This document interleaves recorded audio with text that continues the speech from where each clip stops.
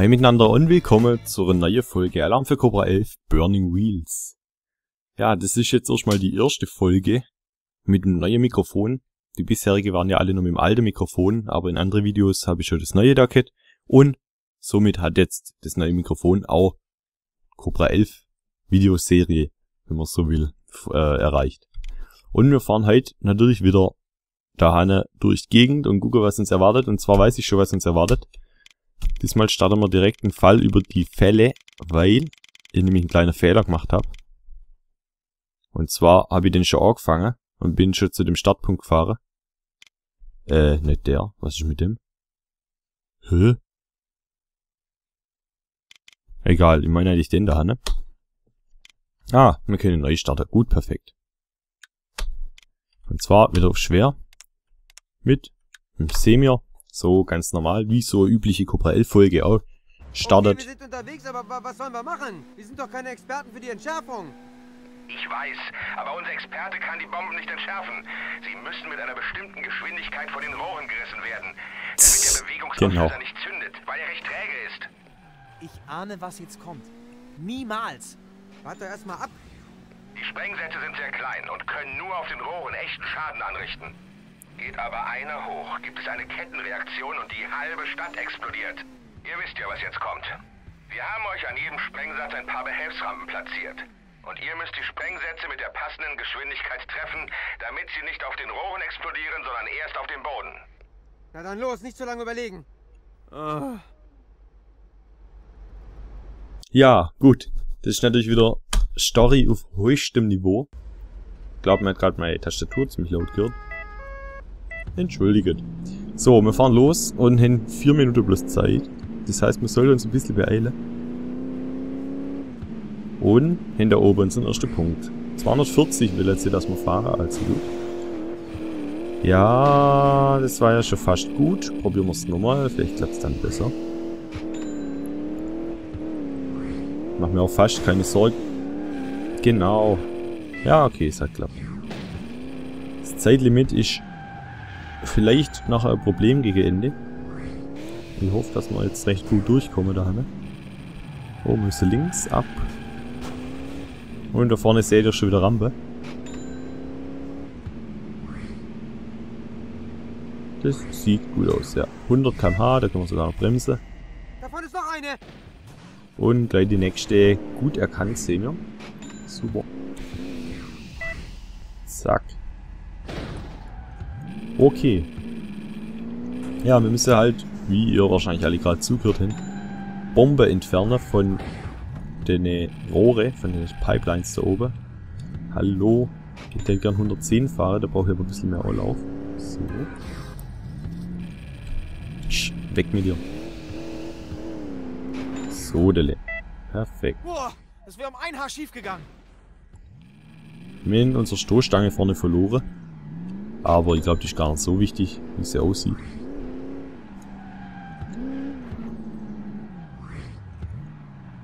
So, und Olaf nehmen wir und... Ups. Mann, wie viele denn noch? Ja, bin aber auch gespannt, wie viele noch. Ziemlich genau fünf. Laut unserem Dings da unten. Hoppla.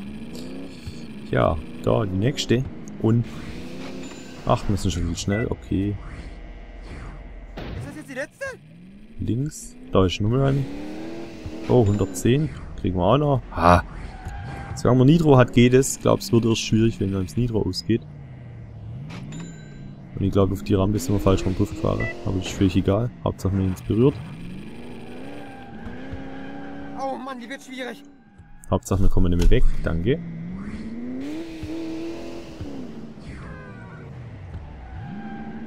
So, müssen wir da bloß wieder irgendwie hinauskommen. Zum Beispiel über die Rampe. Und über die da drüber. Hoppla. Und jetzt da vorne. Ah ja. Ah ne, die haben wir schon gehabt.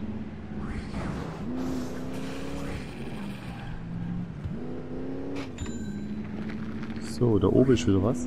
Ich glaube, da müssen wir da erstmal mal umdrehen. Zack. Ist die Nitro immer auch wieder auch gespart. Und dann gleich. Geschafft haben wir's. Ach, wir hätten doch ganz anders fahren sollen. Aber ist ja völlig egal. Völlig egal. So. Einmal da entlang. Das Auto ist ein bisschen kaputt. 52% genauer gesagt. Das heißt, unser Handling lässt schon ziemlich nach. Bei 50% ist ja so Grenze sozusagen. Ab da kann man auch kein Nitro mehr durchgehend geben und es verhält sich alles ein bisschen anders. Aber ich denke mal, wir kriegen es trotzdem noch nach. Ja, wir müssen bloß noch da drüben reinfahren. Ha, perfekt. Da haben wir es doch geschafft. Wir dürfen vielleicht wieder umsteigen. Das dynamische Duo rettet mal wieder die Welt. Kapelle, Musik! Da da, da da, da da. Okay. Standard freigespielt, Feuerwehr und Rettungswagen, Auto. Gut. Ich denke zeitlich legen wir noch einen drauf. Fahren wir auf der Autobahn weiter. Hintereingang. Oh, mit dem Sportwagen. Oh, mit genau einem Sportwagen. Okay. Sehen wir Sport. Dann wird es wohl eine neue Liga-Fall sein. Wer die alte Teile kennt, die Liga ist da eine ähm, äh, äh, äh, Vereinigung, die fahren da illegale Rennen. Rennliga sozusagen. Und ja, bei denen haben wir uns undercover eingeschmuggelt. Und sind bisher noch nicht aufgefallen, nicht wirklich jedenfalls. Und das Semir fährt da als Serkan Gemir äh, mit. Ja, und warum ich gerade wieder auf die Karte geguckt habe, ist einfach der Grund, dass manchmal die Missionen irgendwo verteilt sind und man nachfahren muss. Wir müssen was bequatschen. Kannst du bei Gelegenheit zum Autokino kommen? Oder, wie jetzt in dem Fall, kriegt man es per Telefon. Und wir müssen zum Autokino fahren. Das ist gar kein Problem, da kenne ich mich aus, da Hanne. Fahren wir einmal da um, dann fahren wir da durch und da vorne dann rechts und dann sind wir schon dort. Also dort vorne, vorne, vorne, rechts und dann über Brücke und dann sind wir schon dort. Ja. Genau so. Da einmal noch schon telefonieren. Ja, hallo Mutter, alles okay, gut, tschüss. Und in die Richtung weiter. Und da vorne blinkt auch schon der Pfeil.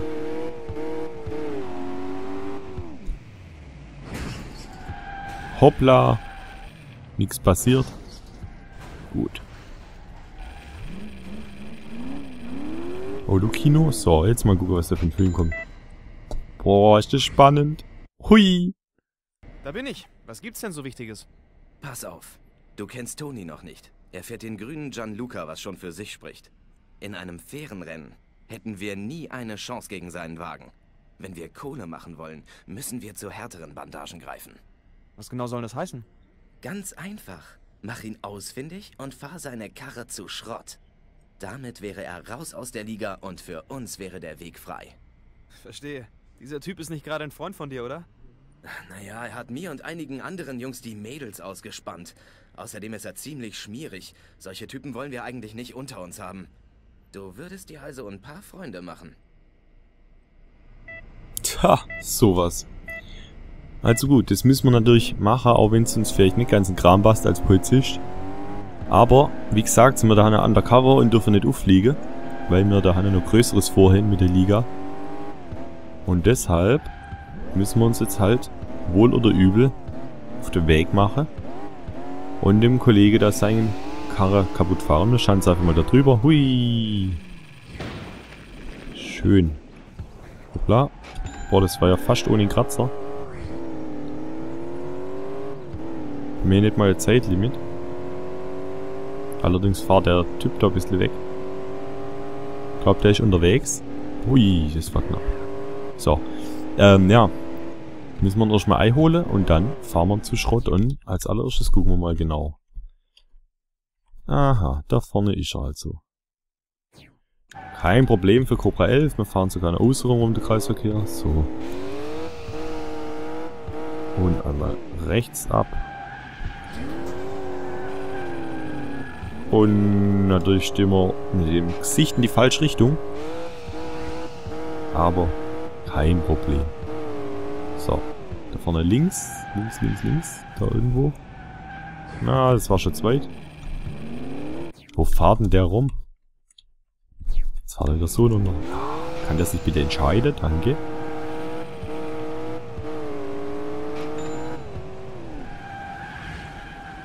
Da ist er ja. Jetzt fahren wir wieder in die Richtung. Ja, ja. Ist klar. So, grüner Gianluca. Das sieht doch schon mal richtig aus. Dann fahren wir doch mal und rammen den ein bisschen. Hopsa, da hat er schon ein bisschen schade. Der wird sich wahrscheinlich wundern, warum wir da jetzt kommen. Der kennt uns ja nicht mal, aber ich glaube, ich wäre auch ein bisschen überrascht, wenn ich da irgendwo durch die Gegend fahre. Schön durch die Stadt gut. Und plötzlich kommt das so quietsch-oranges Auto und rammt mein Auto zu Schrott. Ich glaube, das kann ich nicht brauchen. Aber, wie gesagt, wir müssen das Opfer leider bringen. Eleganter wäre es vielleicht gewesen, wenn man sein Auto einfach klaut hätte. Dann hätte mir es geht. Aber, das war nicht unsere Mission. So. Und was machst du jetzt? Jetzt hast du 50% Schade. Da flieht er weiter. Flieht er. Da flieht er. Nicht flieht er, der nicht die Pflanze. Falls mich da jetzt jemand falsch verstanden hat. Was ja mal vorkommen kann, gell?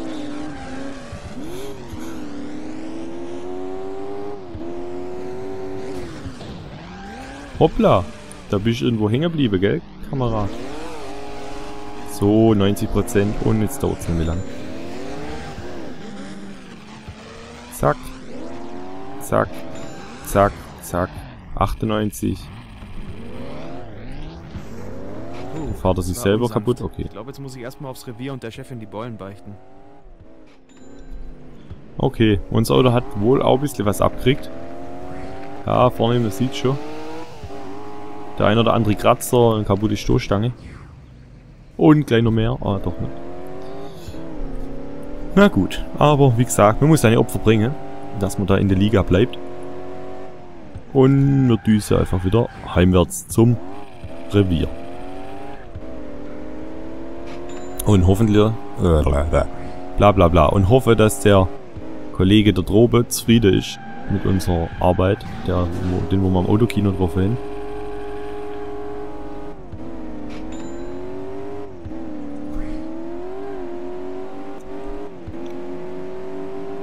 So, ist gar nicht mehr weit, ein Kilometer noch. Und dann haben wir doch wieder zwei Missionen geschafft. Bin mal gespannt, wie es gleich Menü ist, wie viel Prozent wir insgesamt von der Story schon erledigt haben mittlerweile. Sollte fast 90 sein. Was natürlich heißt, dass ziemlich bald äh, das Spiel endlich mal durchgespielt ist. Was sich ja doch jetzt so ein bisschen gezogen hat, weil ich öfters mal nichts aufgenommen habe. Hoppsa, jetzt sind wir schon vorbeigefahren. Und was dann mit sich zieht, dass dann, sobald das Spiel fertig ist, der nächste Teil kommt. So, jetzt gucken wir mal, was haben die uns zum Sagen. Ah ja, wir haben den Gianluca freigespielt, mit dem wir nächste Folge, der ich sage. Ist ein schöner Sportwagen. Und haben genau 90%. Das ist doch ein schöner Moment, auf zum Hören. Und in der nächsten Folge weiterzumachen. Macht's gut, ich hoffe, ihr habt Spaß gehabt beim Zugucken. Und schaltet beim nächsten Mal wieder ein.